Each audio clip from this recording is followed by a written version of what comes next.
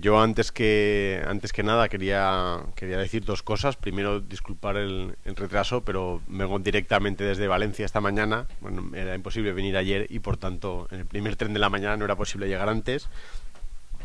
Lo lamento por no haber podido escuchar completa la intervención de José Luis Ledesma, que me interesaba mucho, pero bueno, he llegado a buena parte de ella afortunadamente. En segundo lugar, dar las gracias a la organización, especialmente a José Gómez Alén, por invitarme a participar en las jornadas y por pensar que yo podría aportar algo a esta cuestión de la influencia de la historiografía marxista o cercana al marxismo en lo relativo al estudio de la dictadura franquista y a la España de aquella larga noche. Está por ver si es así. Eh, tal vez eh, es un poco el, espíritu de eh, solidaridad que dentro de la sección de historia de la FIM y el cariño que nos tenemos lo que ha hecho que me, que me inviten más que mis eh, habilidades en relación con, con esta cuestión. ¿no? Bueno, eh, en todo caso, sobra decir que en cualquier actividad de, de la sección de, de, historia de la FIM yo vengo doblemente satisfecho para, para ver a, a una serie de compañeros y compañeras y para tratar de poner un granito de arena a, nuestra actividad. Yo, yendo ya directamente a la, intervención, trataré de tocar dos cuestiones bastante relacionadas entre ellas. ¿eh? En primer lugar, trataré de plantear un acercamiento general desde una perspectiva cronológica a lo que ha sido la influencia marxista en las visiones y en los estudios sobre la época franquista, hasta los años 80-90. O sea, básicamente desde algunos antecedentes, la segunda mitad de los 70 y hasta, bueno, y los años 80. ¿eh? Y en segundo lugar, eh, pues unas notas reflexivas en torno a la situación actual de la historiografía en relación con este tema, los debates de mayor interés y las líneas de investigación prometedoras, advirtiendo que son líneas que en algunos casos tratan de superar lo que entienden como eh, limitaciones de la visión marxista más o menos tradicional, mientras que en otros casos profundizan en la tradición del materialismo histórico, al tiempo que incorporan también otras tradiciones y otras herramientas útiles. Por tanto, no, no voy a plantear un estado de la cuestión o un análisis acabado, ni mucho menos, sino solo trasladar bueno, algunas notas, reflexiones parciales y también les advierto de dos de las dificultades que me he encontrado al, o que me han surgido al abordar este tema, al tratar de organizarlo. En primer lugar, eh, yo diría que está la ausencia de una escuela, de una escuela marxista claramente configurada y reconocible en el estudio del franquismo. Luego haré algunas matizaciones, pero digamos que, a diferencia de lo que, de lo que ocurre con los estudios sobre el siglo XIX eh, y sobre la revolución burguesa en España, en el estudio del franquismo, más allá de la cuestión de la naturaleza del franquismo, que ha sido un debate con frecuencia muy eh, nominal o nominalista, no ha habido un gran debate en el cual se presentara un paradigma marxista o como ahora se diría un relato marxista. Aunque sí, desde luego han existido eh, una pluralidad de trabajos influidos por el materialismo histórico o cercanos a sus preocupaciones, que serán algunos de los que toque en esta intervención, sobre todo en la primera parte. Pero bueno, también en parte en la segunda. Y luego un problema o, limitación que tiene que ver con mi propia trayectoria personal, que es bueno lo que ha comentado Manuel. Yo básicamente he trabajado sobre la dictadura, sobre las instituciones de la dictadura, sobre el partido fascista, sobre los discursos, mecanismos políticos y apoyos sociales del franquismo. Por tanto, conozco mucho mejor eh, los aspectos relacionados con la historia política del régimen que otros como la historia social, la historia del movimiento obrero, de la cual además hay aquí representantes muy notables y destacados, o la historia económica. Esta última estará ausente de mi análisis, aunque soy consciente de que debería estar. ¿eh? Bueno, y por último, también decir que intervenir después de José Luis, eh, pues es un problema, porque ahora voy a resultar yo un tostón y además ya estaba pensando al oírle que lo debía haber organizado de otra manera, pero son cosas que son cosas que pasan. Bueno, para no alargarme eh, con la introducción entraré ya en la cuestión de en la primera parte de la intervención, en la cuestión de las de la evolución de las visiones sobre la época franquista. Eh, primero, antes de entrar propiamente en la historiografía, decir que evidentemente antes de los primeros estudios de historia existieron visiones desarrolladas por los coetáneos y en concreto por los partidos de la izquierda obrera Visiones sobre todo con respecto al sentido que tenía, o el sentido que dar, cómo explicar la contrarrevolución desarrollada por las derechas españolas a través de la guerra y de la dictadura de Franco. Es más, ya antes de la guerra, en febrero del 36, decía el socialista Araquistain que las derechas pretendían acabar con el contenido social y laico de la República, con la República misma, con la autonomía de Cataluña y con las organizaciones obreras de inspiración marxista. Pero esto es el fascismo sin disfraz, adaptado a las realidades españolas. Un fascismo apoyado especialmente en la propiedad territorial, en la Iglesia católica y en el ejército, más parecido al de Austria y Portugal que al de Italia y Alemania. Bueno, Araquistán se quedaba corto en cuanto al carácter represivo eh, de lo que sería el fascismo español o el franquismo, luego podemos tocar esa cuestión, pero no iba desencaminado en algunas cosas y desde luego eh, enlazaba con, lo que fue la interpretación posterior de la izquierda marxista de la época. Lo que vino después, la dictadura, bueno, la, primero eh, la contrarrevolución desarrollada en territorio rebelde y después la dictadura, para los socialistas y los comunistas fue evidentemente una muestra de fascismo, de una contrarrevolución violenta, dictatorial, antiobrera,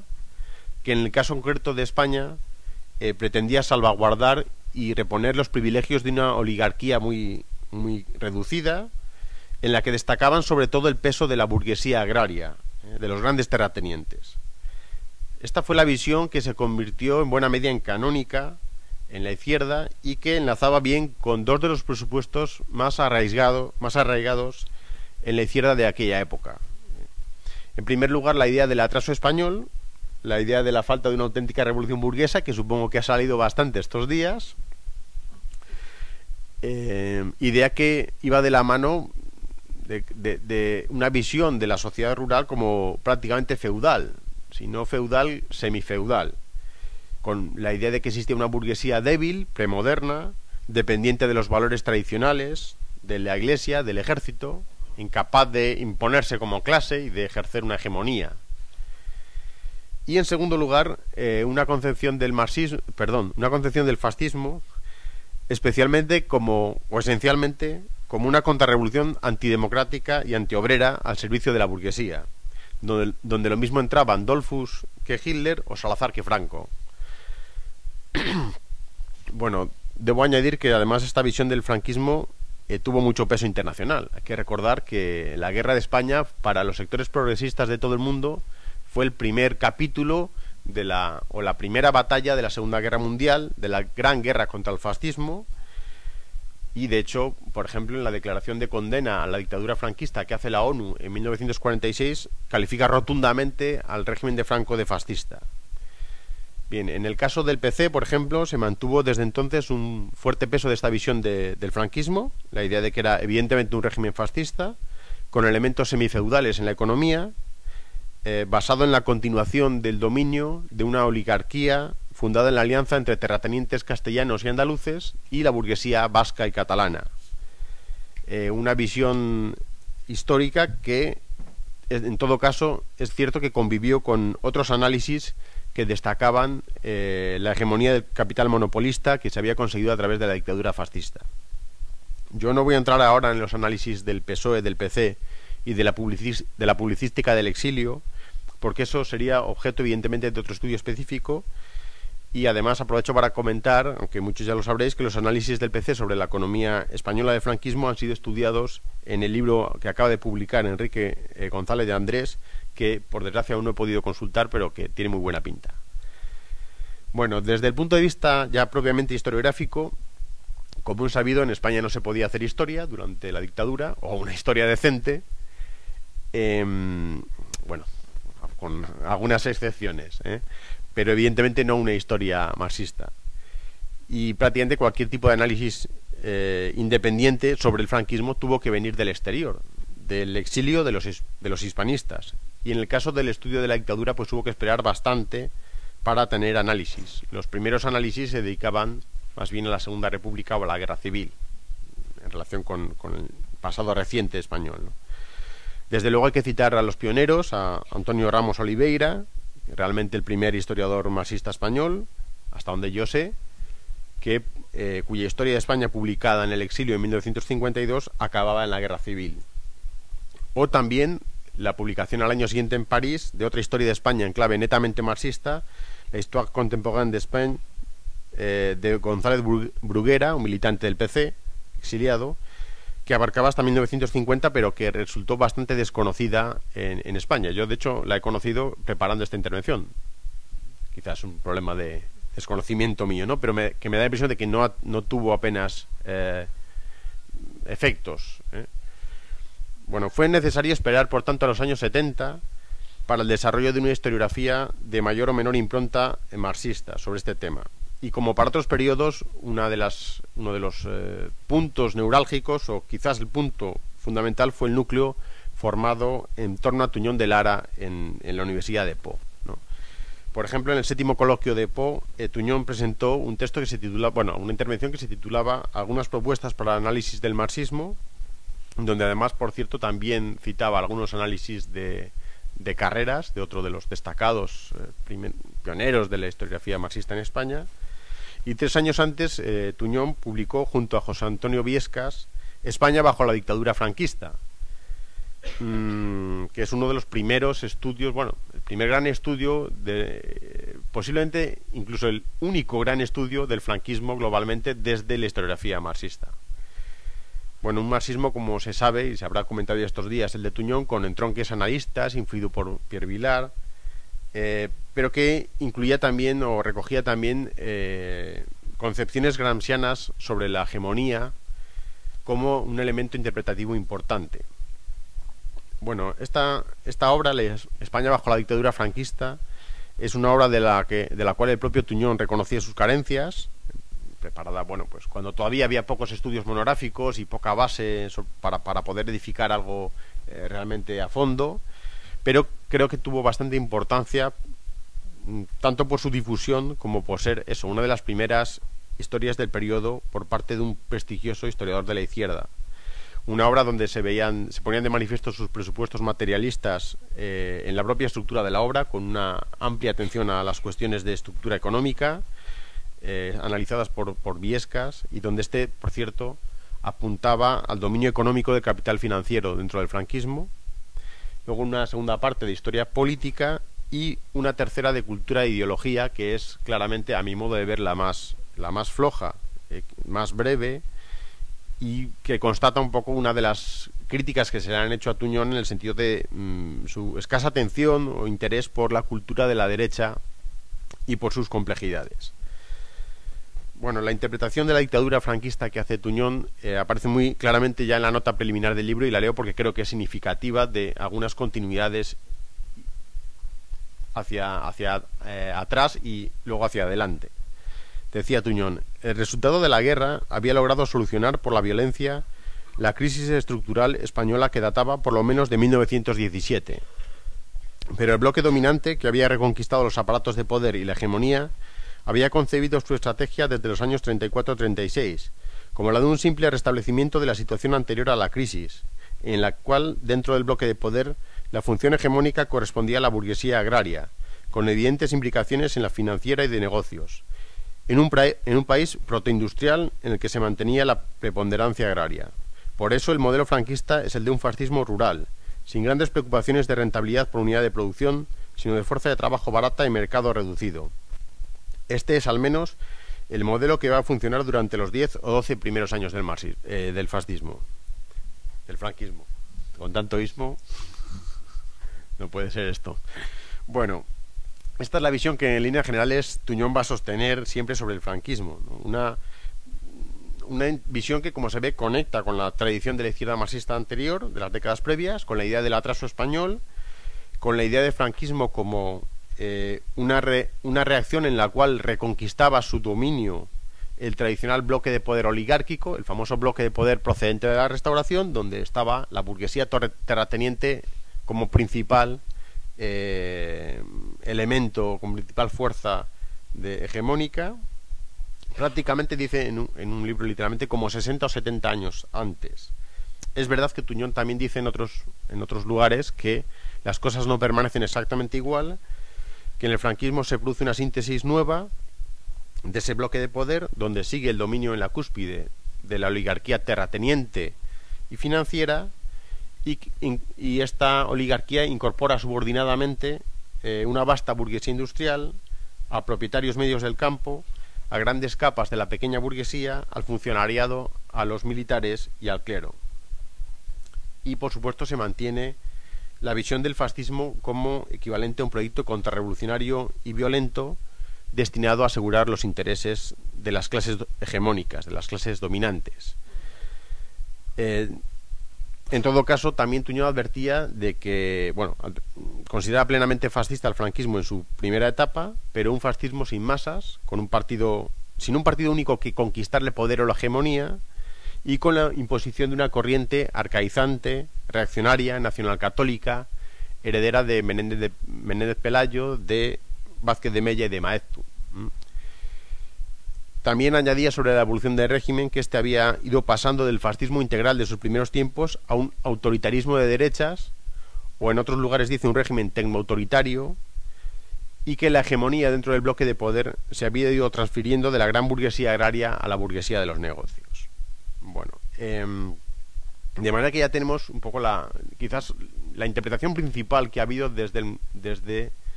eh, el marxismo sobre, sobre lo que fue el franquismo y hoy en día bastante puesta en duda. Luego ya tocaré esta cuestión.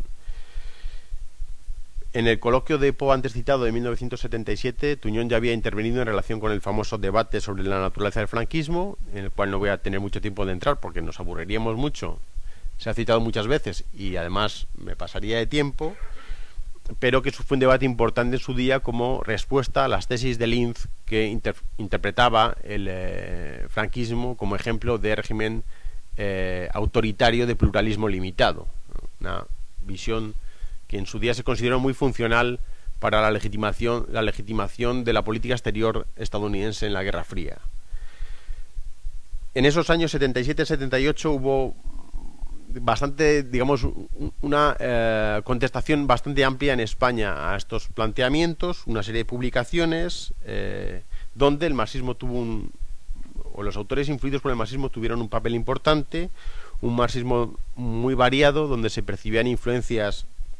sobre todo de Gramsci, de Althusser y de Poulanzas, y con resultados muy, muy dispares. Eh, bien, cuando digo que es un marxismo muy variado, pues eh, es porque efectivamente cuando uno se va a las obras encuentra resultados, en fin, encuentra obras de calidad muy diferente. No voy a entrar en algunas de ellas, pero por ejemplo, cuando a veces leemos hoy en día algunas de las críticas, eh, con frecuencia, como dice José Luis, exageradas en cuanto que parece leyendo algunos historiadores de ahora que en España ha habido una historiografía marxista que lo dominaba todo, todas las cátedras, eh, y que bueno, todo el relato histórico estaba impregnado de, en la universidad de, marxismo. Mm, cuando en muchos casos no hubo tiempo a realmente desarrollar una historiografía marxista en profundidad. Mm. Eh, pero cuando hay críticas sobre un cierto tipo de marxismo tosco, esquemático, eh, exageradamente estructuralista, bueno, pues a mí me viene a la cabeza el libro de Sergio Vilar que he leído estos, estos días, La naturaleza, la naturaleza del franquismo, de 1977. Me vais a perdonar, pero es el típico tostón altuseriano, lleno de una jerga insoportable, llena de acrónimos para ahorrarse palabras, eh, y donde todo, bueno, predomina absolutamente eh, la teoría y la eh, escasa base empírica parece que está forzada para encajar en la teoría previamente establecida. ¿eh?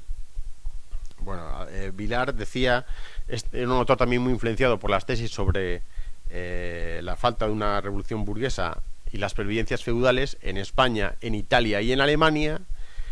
y por tanto mm, decía literalmente que los regímenes fascistas de estos países eran producto del injerto de los residuos feudales a las formas bárbaras PI, abreviatura de político-ideológicas,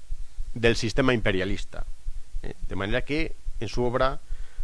el fascismo iba unido, sin ningún tipo de matiz, con clericalismo, integrismo, tecnocracia y feudalismo. La burguesía en España era una clase inerte, que, no existía por tanto como clase, estaba subordinada a la aristocracia, y por tanto la dictadura franquista cumplía un papel cito textualmente, de reproducción neofeudal guion fascista. Bien, en todo caso, también hay que decir que estos casos son los menos. ¿eh? En ese debate sobre la naturaleza del franquismo, por ejemplo, en la respuesta a Linz hubo, eh, hubo también cosas muy interesantes, sobre todo en las críticas que echaban en cara a Linz el formalismo de su caracterización, el olvido de elementos como la feroz represión franquista y sobre todo la dimensión social y el componente de clase de la dictadura franquista. Y en las interpretaciones que se elaboraron alternativas, una especie de obsesión por encontrar una definición del franquismo, pues hay claras influencias sobre todo de las obras de, Marx y de Gramsci. Se recurre, por ejemplo, a, la idea del bonapartismo, eh, también a la idea de, procedente de Barrington Moore, de la coalición reaccionaria, o simplemente la idea de eh, dictadura fascista en tanto que impuesta violentamente para asegurar los intereses de las clases dominantes. Si cito esta eh, polémica de la cual se ha señalado muchas veces que fue estéril, nominalista y que estaba agotada, se decía ya en el 92, es porque, en todo caso, cada dos por tres, bueno, pues vuelve a reproducirse el debate, eso sí, con una eh, mucha mayor investigación empírica y con una afinación de los conceptos también mucho mayor de por medio. Bueno, eh, en esos años siguientes hubo también eh, otras, bueno, diversas monografías de investigación de, con influencia del marxismo, tesis doctorales procedentes de la ciencia política o de la historia. Estoy pensando en el estudio sobre el personal político de Franco, de, de Vivier, del año 78, donde destaca que es un personal político de carácter comisarial o de delegación respecto de las clases dominantes, un personal político en ese sentido nuevo, pero que no implicaba un cambio en el bloque de poder, porque seguía manteniendo su hegemonía las clases dominantes anteriores, pero delega en un personal político que es el que surge a través de Falange o del ejército. ¿eh? Sobre Falange hay estudios muy interesantes de aquellos años, los de Jiménez Campos sobre el periodo republicano o el de Chueca sobre Fed Hons en la etapa inicial de la dictadura, que se centran sobre todo en analizar la ideología y eh, la estructura de Falange en tanto que funcionales para la legitimación y el sostenimiento del modo de producción capitalista. ¿eh? o sea que es la, eh, es la principal preocupación eh, de, estos autores.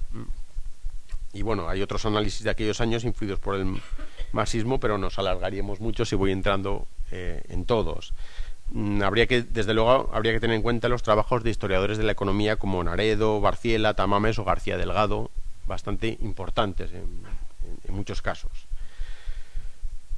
Bueno, eh, recapitulando un poco con lo que decía, también quería em, advertir un matiz importante sobre la forma en que ejercieron su influencia destacados historiadores de la tradición marxista como Tuñón de Lara, Josep Fontana o Juan José Carreras.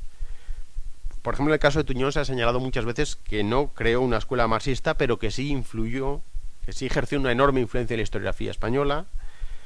y en el caso del, franquismo yo creo que es visible que muchos de sus planteamientos han tenido bastante peso hasta tiempos recientes. ¿eh? En la síntesis reciente de Borja y Riquer todavía hay mucho peso de este tipo de planteamientos, por ejemplo, desde mi punto de vista. Y no es precisamente un marxista. Em, y por su parte, Fontana o Carreras, aunque apenas se dedicaron específicamente al estudio del franquismo, sí fueron notables eh, impulsores de las investigaciones sobre el periodo. ¿eh? Eh, muchos autores posteriores, por ejemplo, recogieron los planteamientos de Fontana, los planteamientos que hacía Fontana en la introducción al libro colectivo España bajo el franquismo de 1986, un libro fundamental en su momento, resultado de un congreso en, Valencia,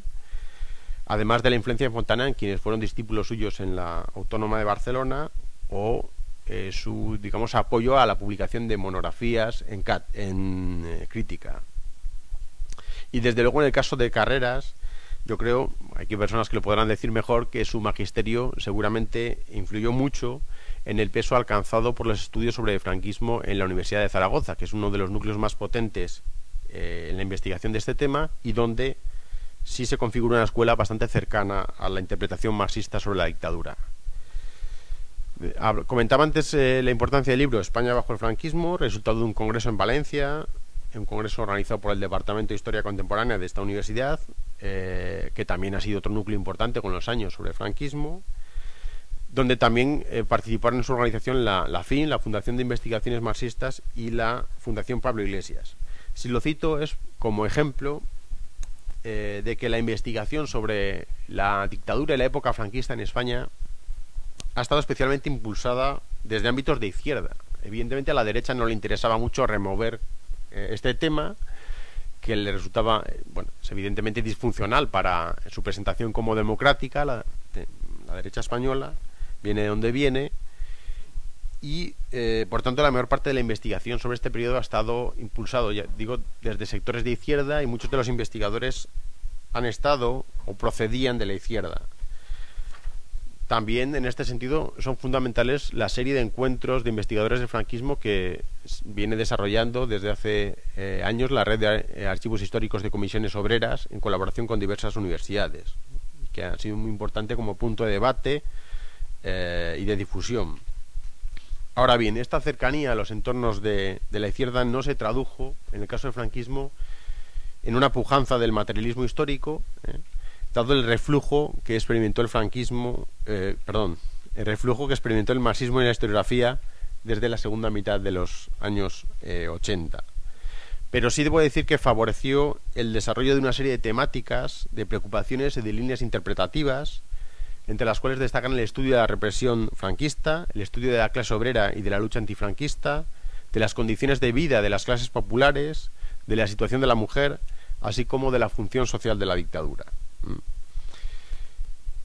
No tengo tiempo además para desarrollarlo aquí, pero como decía, la, eh, la, influencia de los planteamientos antes citados de Tuñón y de las concepciones marxistas sobre el fascismo ha resultado evidente en toda una línea de interpretación que se ha centrado en estudiar los orígenes violentos y contrarrevolucionarios del franquismo, destacando que éste tuvo una función histórica similar a la que tuvo el fascismo eh, de Mussolini o el nazismo de Hitler. Una orientación que con diversos matices han defendido historiadores destacados como Julián Casanova, Ángela Cenarro, Martín Marín, y que entroncan también con las visiones eh, comparadas del, fascismo desarrolladas desde Italia por Colotti o Casali, por ejemplo.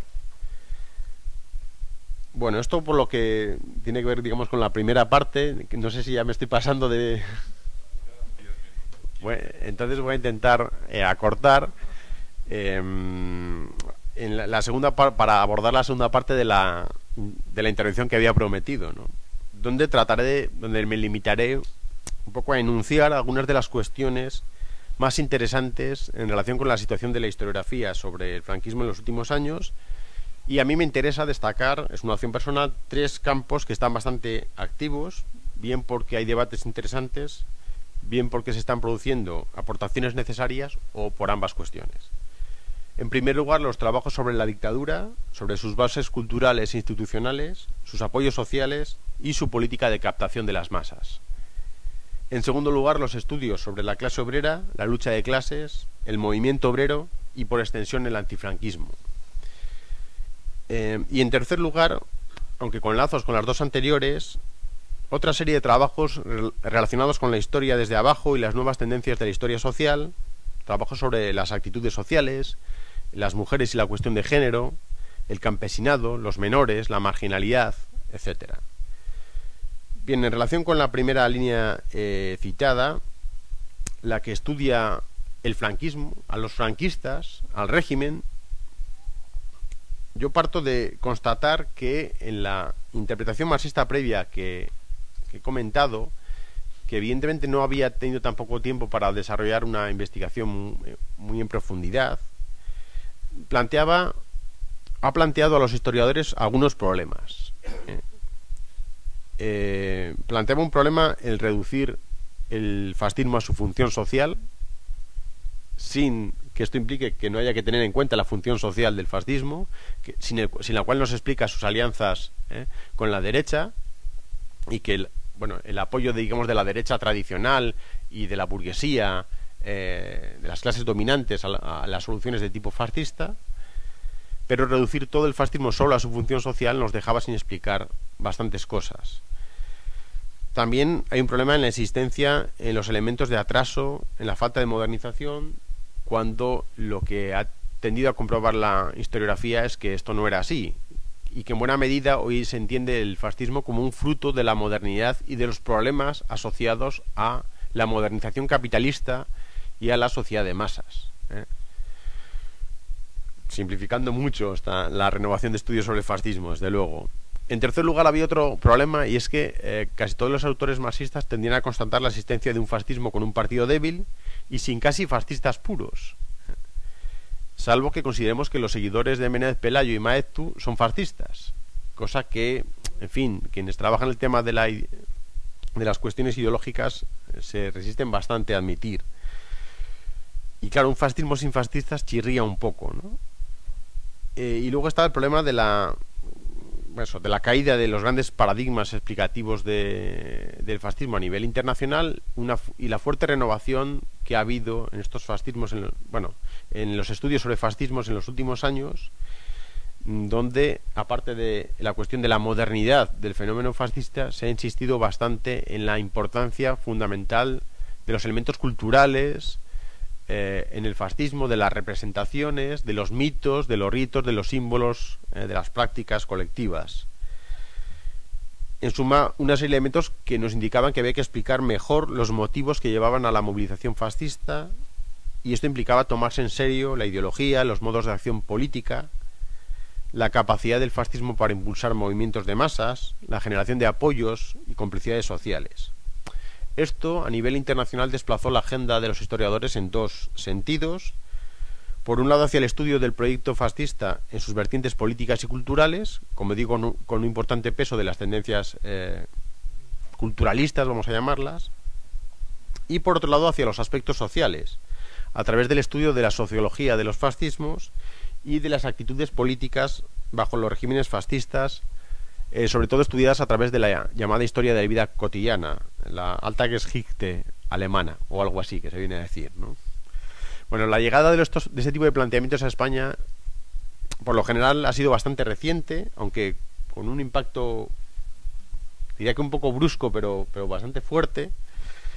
y ha permitido en los últimos años una, un fuerte desarrollo de trabajos atentos a la cultura e ideología del falangismo, como fascismo español plenamente homologable,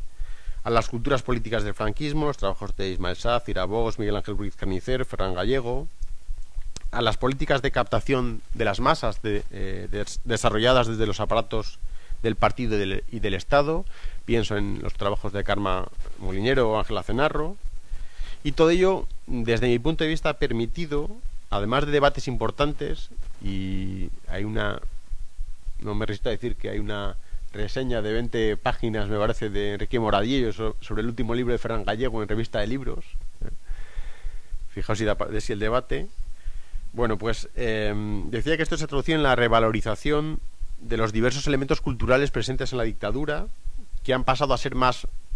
han pasado a ser considerados más modernos y más homologados al entorno europeo, así como una revaluación al alza del influjo cultural y político eh, del falangismo en el seno de la dictadura, es decir, dar una mayor importancia al papel que desempeñó el partido único y la ideología falangista como sostén eh, cultural y organizativo de la dictadura, con todas las limitaciones que luego podamos discutir. También hay otros campos importantes en los, en los cuales está trabajando la historiografía sobre la dictadura, la importancia de la violencia y del impacto de la guerra civil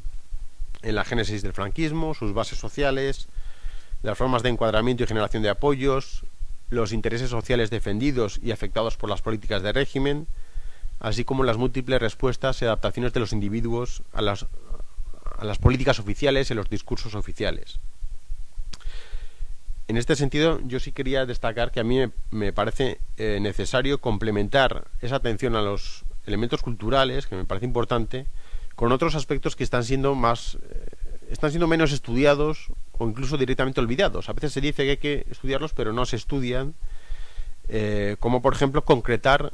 el peso de los diferentes intereses de clase, o si se prefiere intereses económicos, en las políticas franquistas, analizar a fondo las nuevas redes clientelares desarrolladas a la sombra del Estado, del Partido Único y del aparato sindical, o analizar las transformaciones experimentadas por los grupos y clases sociales que dieron soporte al franquismo, que es un tema que apenas se ha trabajado, por ejemplo. Bien, eh, pasando al segundo bloque. Vale, pasando rápidamente al segundo bloque de, de aportaciones interesantes sobre la época franquista y en este caso con un poco de pudor, como digo, por la, por la presencia de destacados especialistas en la sala, pero como lo puedo hacer más rápido, eh, eh, creo que es uno de los campos más, fructífero, más fructíferos está siendo el de eh, la historia de la clase obrera bajo el franquismo. Mm, bueno, desde la segunda mitad de los 70 ya hay estudios en este sentido, con frecuencia mm, estudios sobre el movimiento obrero con un fuerte componente militante, pero mm, yendo al grano, a mí me parece que donde hay una eh, renovación fundamental es ya entrada la década de los 90, cuando despega la historia de la clase obrera y del movimiento obrero bajo la dictadura, en forma de una historia social renovada y de gran calidad. En la segunda mitad de los 90 se publican, o desde mediados a finales de los 90, los trabajos de Balfour, Baviano, Gómez Alén, Vega, eh, vamos, Rubén Vega, Carmen Molinero y Pere Isás. En los años siguientes los de José Antonio Pérez, los volúmenes colectivos sobre las huelgas del 62 que coordinó Rubén Vega, los diversos libros de Xavi Domenech, de Alberto Gómez de Roda, Martín García, el, eh, bueno, el libro reciente, bueno, hace unos años de Javier Tebar sobre eh, el movimiento obrero en la gran ciudad, un conjunto de trabajos de gran valía y con una historia que presentaban una historia social eh, muy depurada desde mi punto de vista y que dentro de su pluralidad yo señalaría a riesgo de equivocarme una serie de grandes rasgos e intereses comunes Primero el interés por analizar las cambiantes condiciones de trabajo y de vida de la clase trabajadora, vinculadas a los cambios en el sistema productivo, al desarrollismo, a las migraciones y al fuerte crecimiento urbano de la época. En segundo lugar, el estudio del desarrollo del movimiento obrero y de una renovada lucha de clases en el segundo franquismo, buscando calibrar los elementos novedosos en ese llamado nuevo movimiento obrero, pero también los elementos eh, procedentes de una memoria o tradición transmitida de luchas anteriores y de la propia represión franquista, la memoria de la represión, como elemento creador también de colectivo. Y que eh, esta línea ha atendido, eh, ha atendido mucho a la relevancia del conflicto como elemento fundamental en la construcción del sujeto obrero, de una identidad, de una conciencia de clase o de una forma determinada de movimiento obrero. En este sentido está clara, por ejemplo, la influencia tonsoniana en los trabajos de Xavier Domenech con la lucha de clases y la experiencia en el centro de la, de la explicación.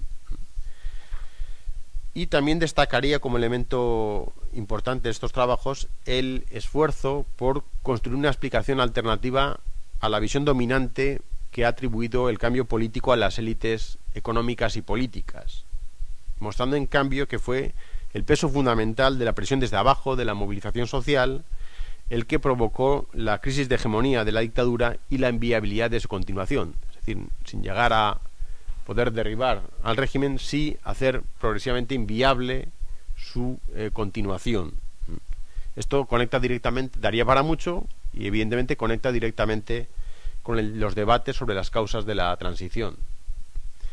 En fin, un campo de estudio que recoge las influencias de la mejor historia social y que les añade riqueza a través de la recepción de otras teorías sobre la acción colectiva, los movimientos sociales, la construcción cultural de la identidad, el conflicto social, eh, siempre en una visión que da protagonismo a las luchas obreras desde abajo, a la experiencia obrera, a las huelgas. Eh.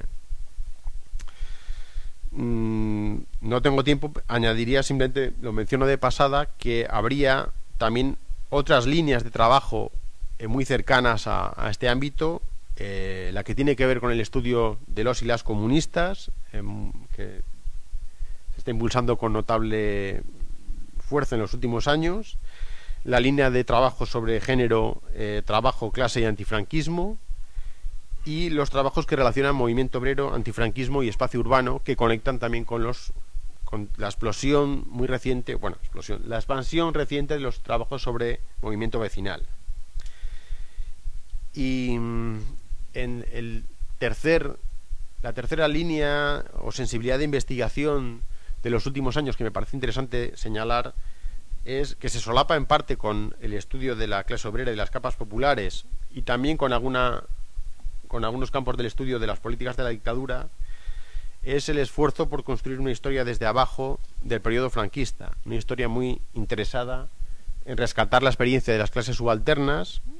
eh, ocupándose de temáticas como las condiciones de vida, las resistencias y actitudes cotidianas de las clases populares, eh, especialmente del campesinado, al fin y al cabo, durante buena parte del franquismo, un sector fundamental de la vida española, cuestiones como el miedo, el control social, la delación, eh, la relación entre la población y la dictadura, la situación de los inmigrantes y de los emigrantes. Bueno, una línea que recoge influencias de la historia social de Raytonsoniana, de la perspectiva de género, de la microhistoria, de la historia de la vida cotidiana y de los estudios subalternos. Y trae una lista de ejemplos, pero eso nos alargaría mucho. Yo creo que muchos ya conocéis este tipo de trabajos y si alguno quiere que le, luego los comente, los puedo entrar a, comentar. Eh, solo un ejemplo voy a poner, que es el reciente volumen que ha coordinado eh, Rodríguez Barreira, eh, franquismo desde los en, Spy franquismo desde los márgenes campesinos, mujeres, delatores, menores. Bueno, es un estudio en cuya introducción Barreira habla de las muestras de agotamiento del posmodernismo y de la influencia que la situación actual de crisis económica, inseguridad laboral y creciente movilización social podría tener sobre los historiadores o está teniendo ya sobre la mirada de los historiadores. Y plantea que esto podría favorecer el anunciado tránsito del giro lingüístico y cultural al giro material. Bien, a mí solo me gustaría añadir, eh, como reflexión final, que